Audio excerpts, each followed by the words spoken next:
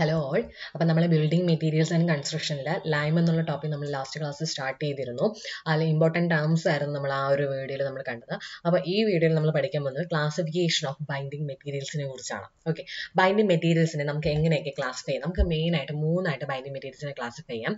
Air binding materials hydraulic binding materials autoclave binding materials okay അപ്പോൾ ഇതിനെ പറ്റി നമ്മൾ ഡീറ്റെയിൽ ആയിട്ട് പഠിക്കാൻ പോവുകയാണ് അപ്പോൾ ഫസ്റ്റ് വൺ എന്ന് പറയുന്നത് air binding materials air binding മെറ്റീരിയൽസിനെ നമ്മൾ വിളിക്കുന്ന മറ്റൊരു പേരാണ് എയർ സെറ്റിംഗ് ബൈൻഡിങ് മെറ്റീരിയൽസ് എന്ന് വിളിക്കും. ഓക്കെ എന്തെന്ന് വിളിക്കും.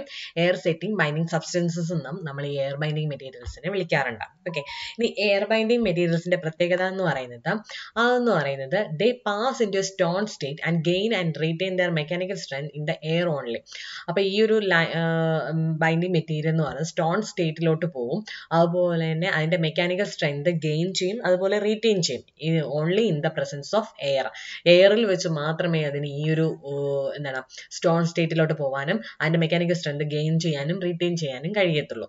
അതാണ് എയർ ബൈൻഡിങ് മെറ്റീരിയൽസ് അതിന് എക്സാമ്പിൾ എന്ന് പറഞ്ഞാൽ gypsum acid resistance cement quick lime fat lime ഇതൊക്കെയാണ് എന്തെന്ന് എയർ ബൈൻഡിങ് മെറ്റീരിയൽസിന് എക്സാമ്പിൾ എന്ന് പറഞ്ഞാൽ അടുത്ത രണ്ടാമത്തെന്ന് പറഞ്ഞാൽ ഹൈഡ്രോളിക് ബൈൻഡിങ് മെറ്റീരിയൽസ് ആണ്. ഹൈഡ്രോളിക് ബൈൻഡിങ് മെറ്റീരിയൽസ് എന്ന് പറഞ്ഞാൽ അതിൽ ഹൈഡ്രോളിക് സെറ്റിംഗ് സബ്സ്റ്റൻസിനെ എന്നും സബ്സ്റ്റൻസ് എന്നും ഈ ഹൈഡ്രോളിക് ബൈൻഡിങ് മെറ്റീരിയൽസ് നമ്മൾ വിളിക്കാറുണ്ട്.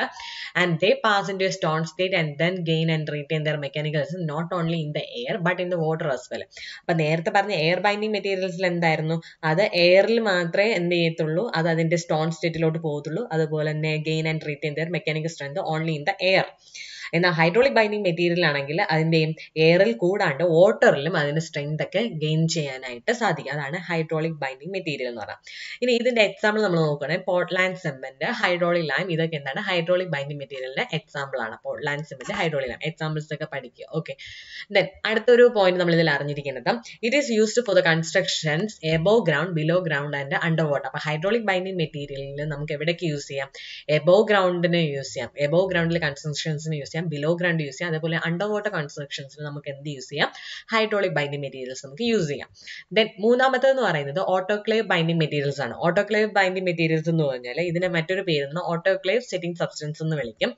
അതായത് they set only when treated in autoclave with saturated steam അപ്പൊ അത് സെറ്റ് ആവണമെന്ന് എപ്പോഴാണ്? എപ്പോഴാണോ അതിനെ ഓട്ടോക്ലേവിൽ സാച്ചുറേറ്റഡ് സ്റ്റീമിൽ ട്രീറ്റ് ചെയ്യുന്നത്. അന്നേരം മാത്രമേ ഈ ഓട്ടോക്ലേവ് ബൈൻഡിങ് മെറ്റീരിയൽസ് സെറ്റ് ആവത്തുള്ളൂ. ഓക്കെ ഇനി അതിലുള്ള നമ്മൾ യൂസ് ചെയ്യുന്ന പ്രഷർ എന്ന് പറഞ്ഞാൽ എയ്റ്റ് ടു ട്വൽവ് അറ്റ്മോസ്ഫിയർ ആണ്. ഓക്കെ നമ്മൾ സാച്ചുറേറ്റഡ് സ്റ്റീം ആണ് ഓട്ടോക്ലേവിനകത്ത് സാച്ചുറേറ്റഡ് സ്റ്റീം വെച്ചിട്ടാണ് ഇതിനെ ട്രീറ്റ് ചെയ്യുന്നത്.